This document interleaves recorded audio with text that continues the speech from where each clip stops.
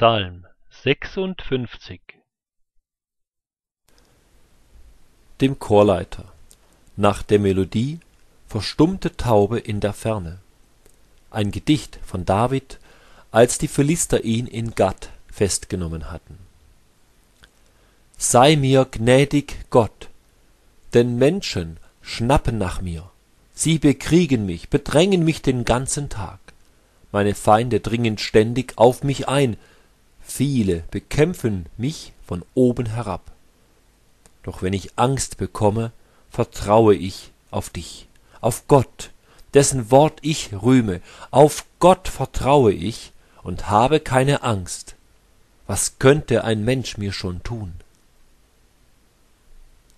Täglich tadeln sie meine Worte und überlegen, wie sie mir schaden. Sie liegen auf der Lauer, bespitzeln mich auf Schritt und Tritt und wollen mir an die Kehle. Sollten sie mit solcher Bosheit entkommen? Gott, wirf sie zu Boden in deinem Zorn.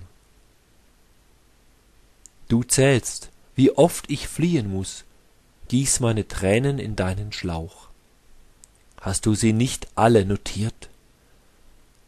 Dann lassen meine Feinde von mir ab, dann, wenn ich dich zu Hilfe rufe, denn ich habe erkannt, Gott ist für mich. Auf Gott, dessen Wort ich rühme, auf Jahwe, dessen Wort ich ehre, auf Gott vertraue ich und habe keine Angst. Was könnte ein Mensch mir schon tun? Ich schulde dir, Gott, meine Gelübde, ich werde meine Dankesschuld zahlen.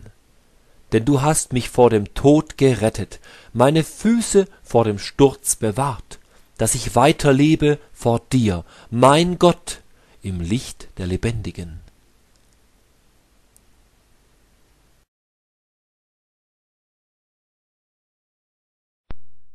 Psalm siebenundfünfzig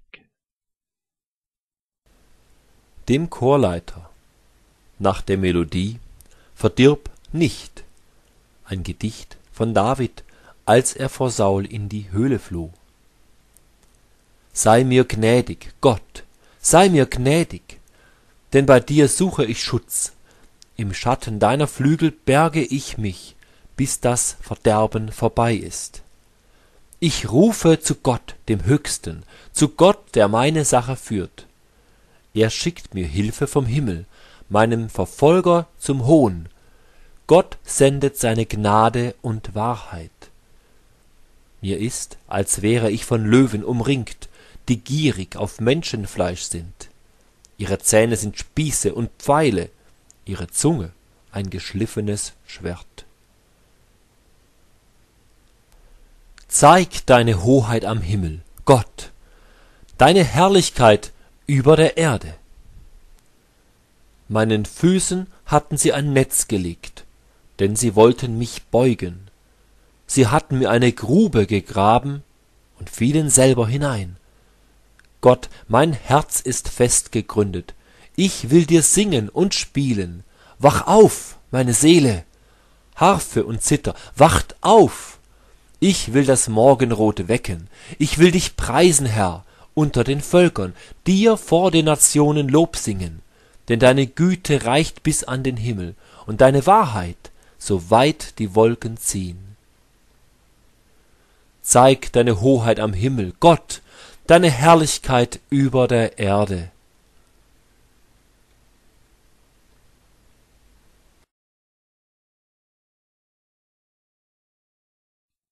Psalm achtundfünfzig Dem Chorleiter nach der Melodie Verdirb nicht ein Gedicht von David. Sprecht ihr wirklich recht und schweigt? Richtet ihr die Menschen gerecht? Ihr habt das Unrecht schon im Herzen, und im Land macht ihr Bahn der Gewalt. Von Geburt an sind die Frevler auf der schiefen Bahn, von klein auf ans Lügen gewöhnt. Ihr Gift gleicht dem Gift einer Schlange, einer tauben Kobra, die ihr Ohr verschließt und nicht auf die Beschwörer hört, die die Zaubersprüche kennen. Schlag ihnen die Zähne ein, Gott, Zerbrich das Gebiss dieser Löwen, Jahwe. Lass sie verschwinden wie versickerndes Wasser. Lass ihre Pfeile das Ziel nicht erreichen. Lass sie wie Schnecken im Schleim zerfließen und wie eine Fehlgeburt die Sonne nicht sehen. Bevor der Dornenstrauch unter euren Töpfen brennt, hat er ihn schon, grün oder dürr, im Wirbelsturm verweht. Der Gerechte wird sich freuen, wenn er die Vergeltung sieht, er badet seine Füße in der gottlosen Blut. Dann wird man sagen, doch, dem Gerechten wird Lohn. Doch, es gibt einen Gott, der für das Recht auf der Erde sorgt.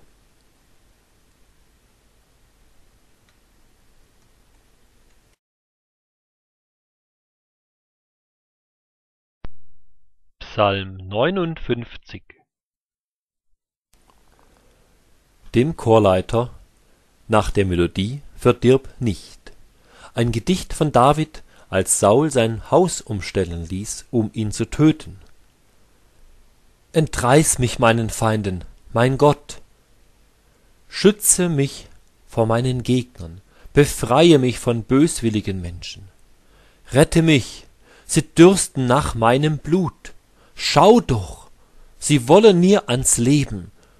Starke greifen mich an, es ist nicht mein Vergehen, nicht meine Schuld, Jahwe. Ohne Schuld meinerseits stürmen sie vor und stellen sich auf. Wach auf, komm mir entgegen und sieh. Jahwe, du allmächtiger Gott, Israels Gott, werde wach und rechne mit den Völkern ab. Hab kein Erbarmen mit diesen Verbrechern. Jeden Abend kommen sie zurück, heulen wie Hunde, umkreisen die Stadt. Geifer spritzt aus ihrem Maul, jedes ihrer Worte ist wie ein Dolch, sie denken, dass es niemand hört. Doch du, Jahwe, du lachst über sie, du spottest über all diese Fremden. Du bist stark, auf dich will ich achten, denn Gott ist mein sicherer Schutz, mein Gott. Seine Güte kommt mir zuvor. Gott lässt mich herabsehen auf meine Gegner. Töte sie nicht, damit mein Volk es nicht vergisst. Treib sie durch deine Macht umher, stürze sie nieder, Herr, unser Schild. Sünde ist jedes Wort aus ihrem Mund. Sie sollen sich im Hochmut verfangen, denn sie fluchen und verbreiten nur Lügen vernichte sie im Zorn, vernichte sie, dass nichts von ihnen bleibt. Dann wird man wissen, dass Gott in Israel herrscht und bis an das Ende der Erde. Jeden Abend kommen sie zurück, heulen wie Hunde, umkreisen die Stadt, sie streunen umher, gierig nach Fraß.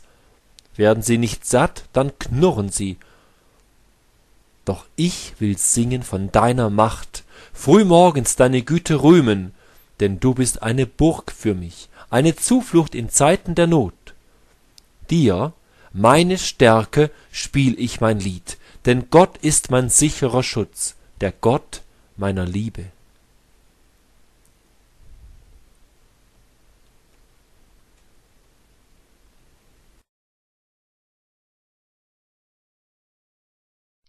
Psalm 60 Dem Chorleiter nach der Melodie Lilie.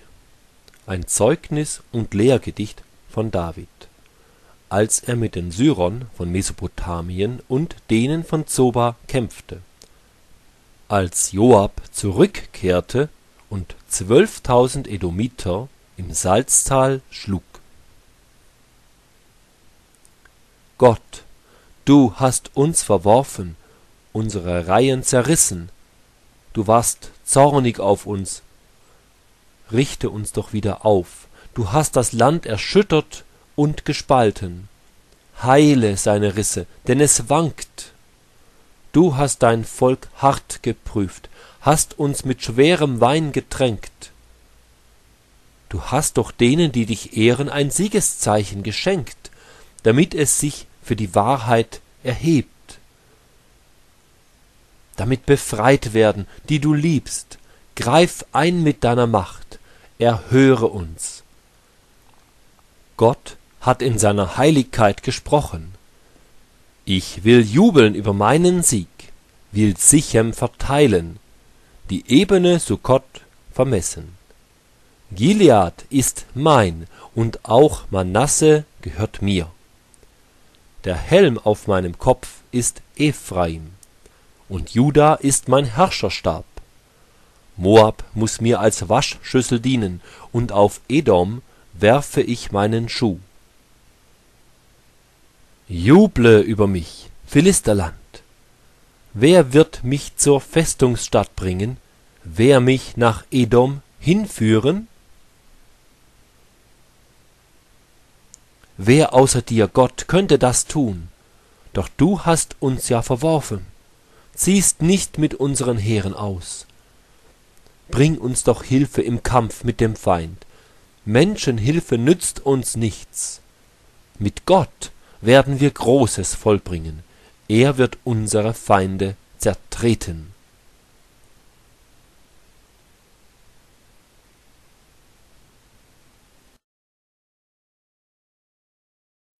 Kapitel 12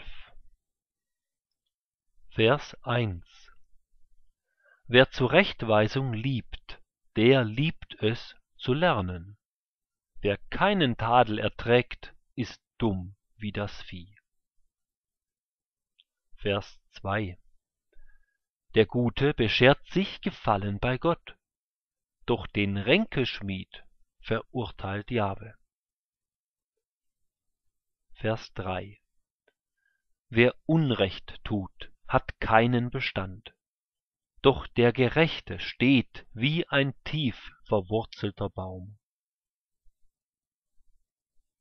Vers 4 eine tüchtige Frau ist eine Krone für ihren Mann, doch eine Schlampe ist wie Fäulnis im Skelett. Vers 5 Ein Gerechter denkt an das Recht, ein Gottesverächter plant Betrug. Vers 6 Das Reden von Gottesverächtern ist ein Lauern auf Blut. Doch die Worte von Aufrichtigen retten davor. Vers 7 Gottlose stürzen und sind nicht mehr, doch das Haus der Gerechten besteht. Vers 8 Jeder wird nach dem Maß seiner Klugheit gelobt, doch einen Wirrkopf verachtet man. Vers 9 Besser unbeachtet bleiben und einen Sklaven besitzen, als ein Wichtigtuer sein, der nichts zu essen hat. Vers 10 Den Gerechten kümmert das Wohl seines Viehs. Wer Gott verachtet, hat ein grausames Herz. Vers 11 Wer seine Felder bestellt, hat auch genügend Brot. Doch wer nach Nichtigkeiten jagt, ist ohne Verstand. Vers 13 Der Frevler beneidet Böse um ihren Gewinn, doch die Wurzel der Gerechten trägt. Vers 13 Der Böse verfängt sich im Lügengespinst, der Gerechte entgeht der Gefahr.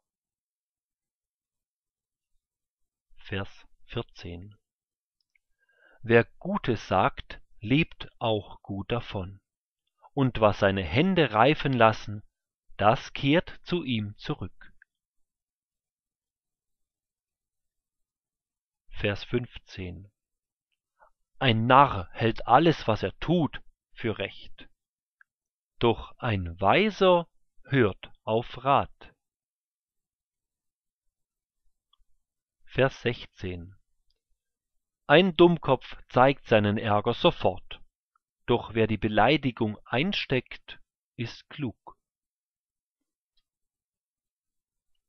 Vers 17 Ein wahrhaftiger Zeuge fördert das Recht, ein falscher unterstützt den Betrug. Vers 18 Wer unbedacht schwätzt, verletzt mit dem Schwert, doch die Worte von Weisen sind heilendes Kraut.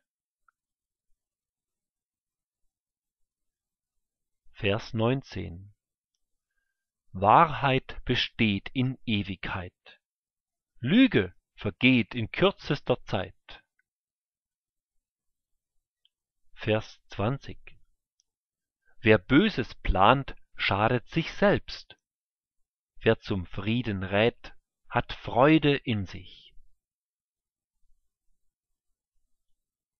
Vers 21 Kein Unheil stößt dem Gerechten zu, doch die Gottlosen werden vom Unglück erdrückt. Vers 22 Ein Mensch, der lügt, ist Jahwe ein Greuel, nur wer wahrhaftig ist, gefällt ihm wohl. Vers 23 Ein kluger Mensch verbürgt sein Wissen, doch ein Narr schreit seine Dummheit heraus. Vers 24 Fleißige werden die Herrschaft erringen, Faule müssen Zwangsarbeit tun. Vers 25 Sorgen drücken einen Menschen nieder, doch ein gutes Wort richtet ihn auf.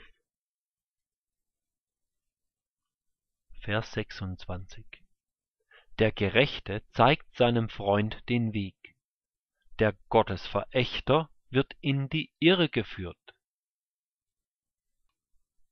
Vers 27 Wer lässig ist, fängt nie ein Wild, doch der Fleißige erlangt kostbares Gut. Vers 28 Wer Gott recht lebt, findet das Leben, auf diesem Weg gibt es keinen Tod.